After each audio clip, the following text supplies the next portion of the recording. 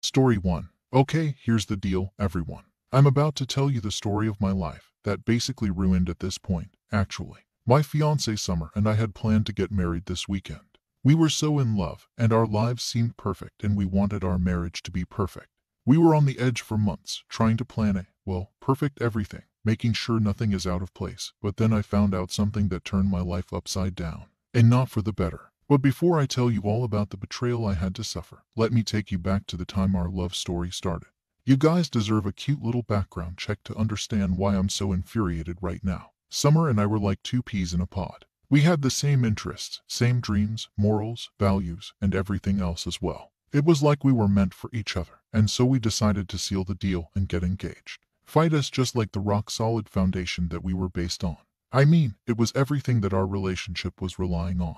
We both valued honesty, and we wanted each other to be loyal and quite frank. There was never a reason for me to doubt Summer's faithfulness. I was always so proud of the fact that we had so much trust for each other, and I would always tell my friends and family about it as well because I felt like it was something that I had the right to boast about. But what I stumbled upon I don't think I have the right anymore, because the trust, the loyalty, everything that we had going on just shattered like it was made of glass. Anyways, even with all the trust that we had going on, there was always this one thing in a relationship that made me super uncomfortable. It was my fiancée Summer's relationship with her best friend Aaron.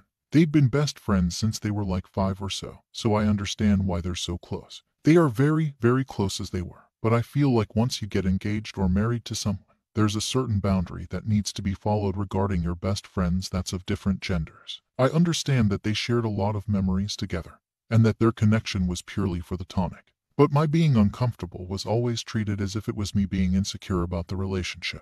This wasn't even the case, because I was very secure in our relationship.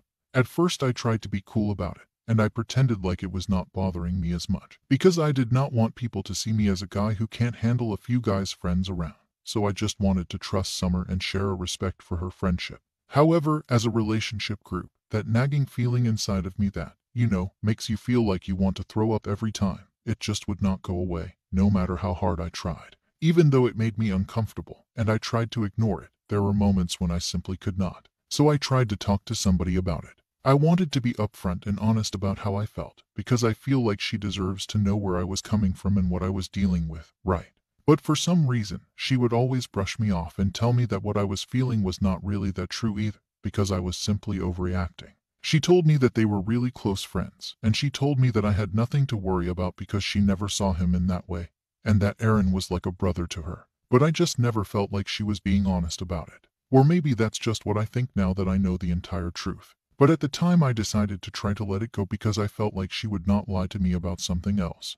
Who says this? Especially considering she now knew how I felt about the entire thing as well. So we carried on with our lives. We had a pretty solid relationship so I didn't want anything to ruin that because she genuinely brought so much happiness to my life. She made me feel like I could just be happy, you know. Life just wasn't about living.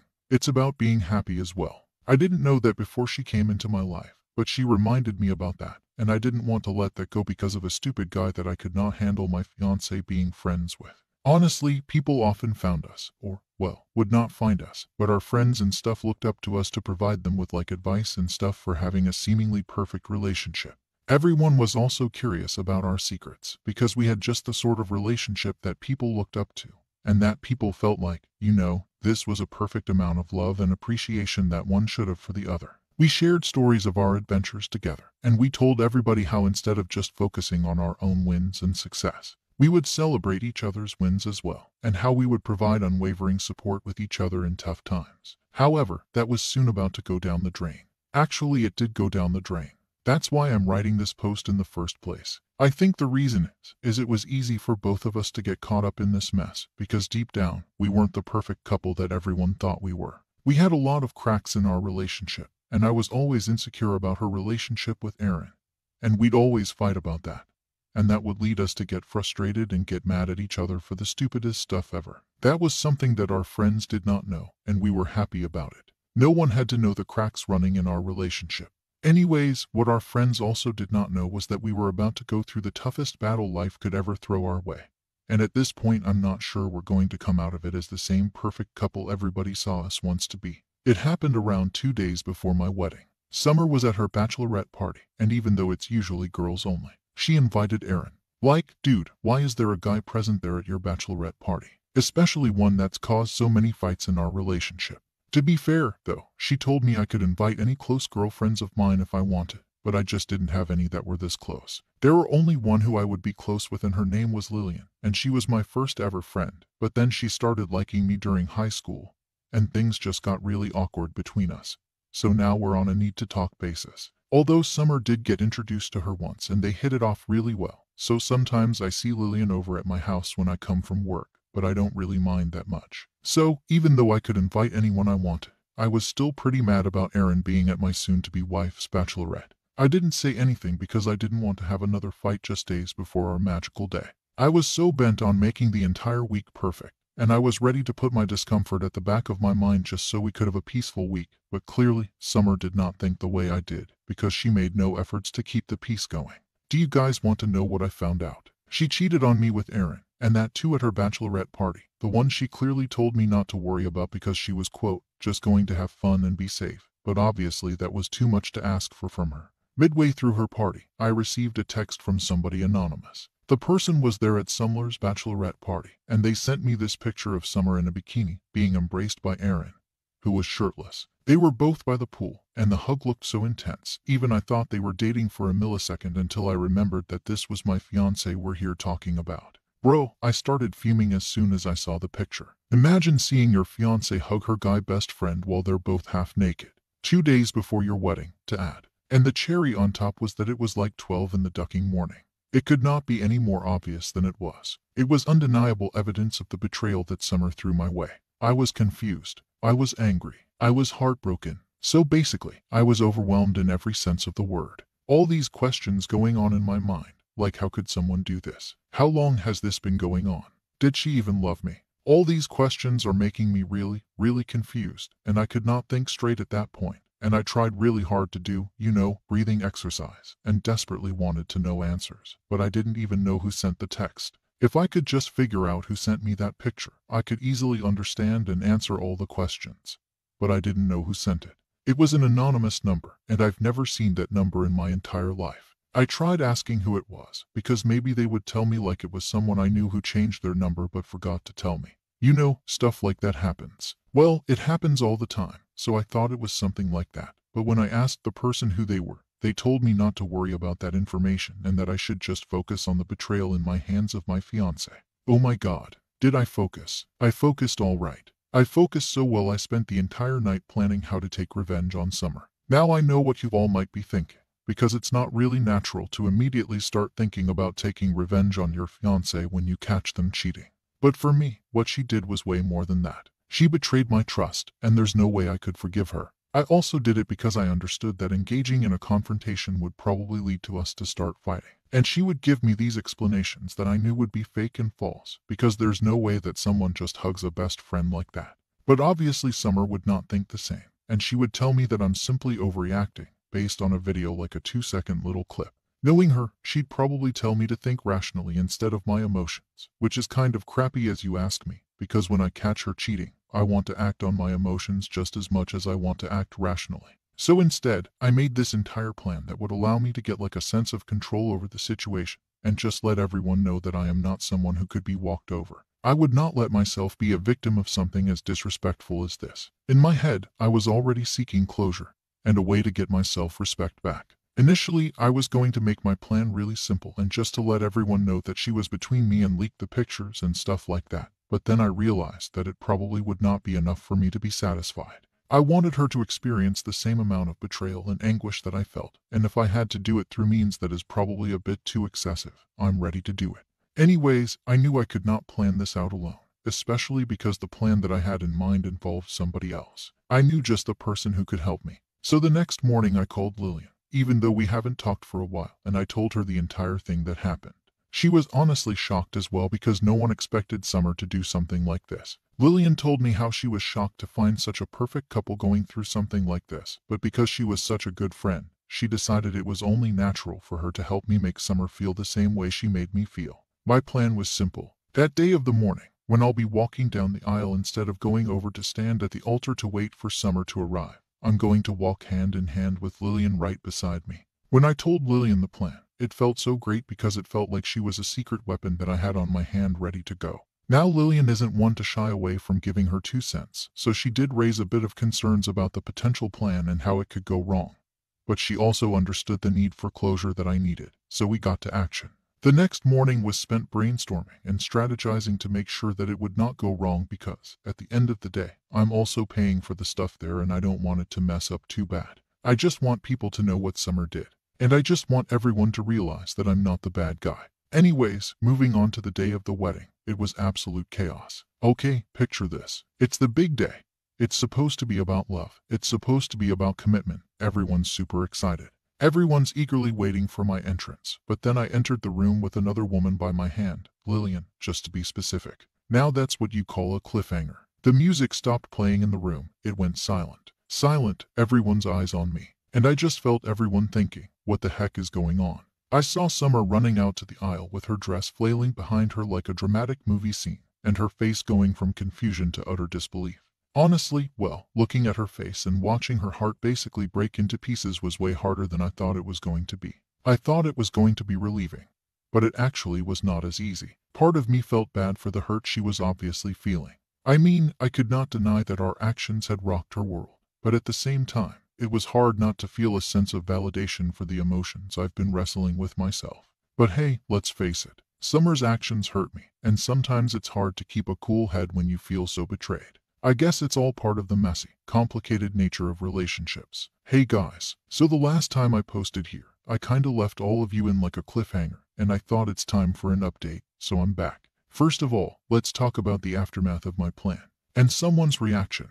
Even though I said it was like a movie scene, the family's and friends' reactions were way worse. When she was standing there in the middle of the aisle, I could practically see the shockwave going from person to the other. I could hear the gasping, the whispers, everything.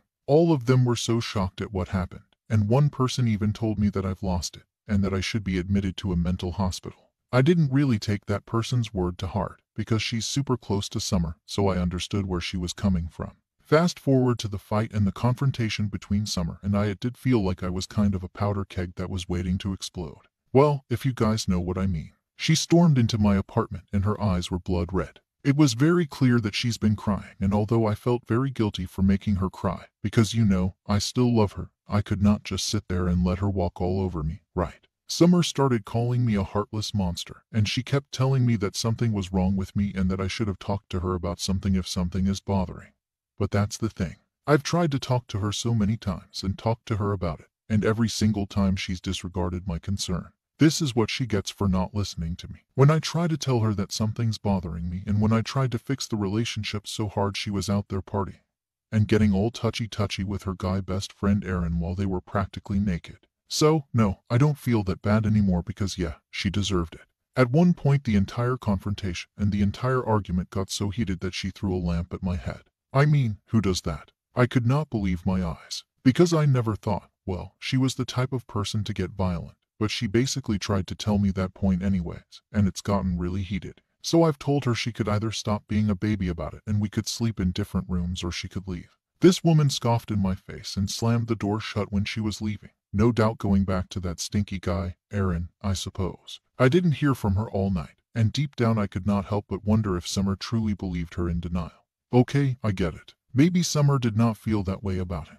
but it was very clear that Aaron had liked her from the get-go especially from the way that he was so touchy-touchy around her all the time. So how could she deny everything in a matter of seconds? Like, I even have evidence of them in a very passionate embrace that's caught on camera and sent by a stranger, and she still would not agree to the fact that she cheated on me. Me. As if I was clinging to crumbs at this point, because there's no way we could go back to how we were. I realized how our entire relationship has now transformed into this hole of insecurity, and anger and hurt and mistrust and ugh. And I really needed to face that harsh reality that maybe she just was not meant to be mine.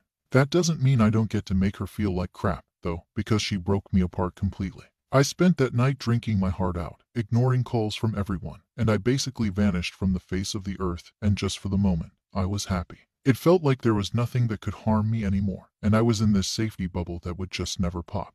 I don't know what I'm going to do now because Summer still has not come back home, even though it's been like two days now. She didn't even come to get her stuff if she was living somewhere else. For now, I'm just ignoring everybody and pretending like I don't exist, because I don't have that mental energy to deal with people right now. Update number 2. So I'm back with another update because things never go right in my life, do they? So after the entire fight that I've had with Summer, she did not come and see me at my house or in the house that we shared together for almost a week. I'm not really sure the exact time, but it's like five or six, six days. Instead of her, though, the main villain of the story, Aaron, decides to pay me a visit. Honestly, when I opened up that door for him, I expected our conversation to be loud and violent, so I invited them inside because I didn't want to disturb my neighbors. Our conversation started out pretty easy and civil. He tried explaining some side side of the story and told me how I was misunderstanding the entire situation. But I just felt like he was downplaying my feelings because he was refusing to acknowledge that I'd seen the video. And it felt like it was more than just a simple hug. Although I should kind of get grateful for him, because when I told him about the video, he did not instantly get mad at me but he did try and tell me that it seemed like a much bigger thing than it actually was, and that I was just looking at the surface of it, and that there was nothing happening there, and they're just two friends who were hugging because one of them's getting married. And well, Aaron was happy for her. When he starts defending Summer, that's when things took a turn for the worse. Well, I guess you could say my emotions that were going through were inexplainable, because at one point I was trying to understand their point of view and where both of them were coming from. But then again, why was he coming to her defense so hard? Just seeing his face angered me, and it brought up all the feelings of anger and hurt right there to the surface, to the point where I felt on a volcano that was ready to erupt. In his eyes, I've taken things too far, but in my eyes, I've done exactly what needed to be done. I was not going back down to my initial plan. I was not going to apologize for something that I did because I was forced into that situation. When I told him all this, the exchange escalated into a full-blown argument. We started throwing taunts at each other. There was a lot of frustration in the room and accusations were basically flying back and forth at the point as well, and it was very clear that neither of us was going to back down. It took a punch to my face and a punch to his face for us to finally realize that this was going far beyond what we planned when we decided to have a civil conversation with each other. And so we decided to let it be, and I told him that he needs to leave. As if that wasn't enough, Jack, my best friend who had been with me through the thick of it, left me a message that questioned my actions. His text was filled with disappointment and I could not believe that he could not understand why I've taken things to this point. Even so I had let him, uh, very lengthy text messages that explained the entire situation, up to how I felt about it. It hurt that he could not understand why I've crossed these lines, but the fact that he was no longer willing to support me just made me really frustrated, because he was the one person that I expected would understand me. So that was really tough on me. And now I'm not sure where I'm going to go ahead from this because my life feels like it's crashing down, but it was supposed to be the other way around so either I can get my life back on track or I can try and ruin Summer's life even more. Update number 3. So I'm back with another update relating to my wedding day drama, because for some reason it just keeps on taking unexpected turns, left and right. One thing that really stuck with me when I talked to Aaron last time was when he asked if I even knew the person who sent the video. Well, because of him, he said that sounds like a really important detail, and that I should not just do something this big based on a video sent by someone I don't even know. That made sense, honestly. Like, yeah, I get his point, and I also start to feel really guilty for the chaos I've caused, so equipped with determination and a bag of Cheetos, I decided that I was going on a digital mission to uncover who was the one who sent me that text. So, I channeled my inner Sherlock Holmes and decided that the best way to do this would be to track the IP address of the sender and track their information from it. I'm really good at tracking IP information because I worked as an IT guy for a really long time, and this is just something that I've learned on the side for a couple years as well, so it wasn't that hard. When I was doing it, however, my heart was pounding like a jackhammer. My eyes were glued to the screen because I just needed to know who the person was, and I was so nervous. I felt like I was about to scream whenever the loading bar came up. And oh my god. You guys don't understand the amount of shock that I went into when I found out who that anonymous sender was. The digital team led me to ride out the virtual doorstep. It was Lillian. Yeah, the same Lillian who walked down the aisle with me. The same Lillian who comforted me through the times and told me I was doing the right thing. When I found out I could not understand why she has done this, what she did to me. But then again, I was like, okay, you know what. Maybe she was trying to look out for me and let me know what was happening back there, which I should be grateful for, right? But then why was the message anonymous if she was helping?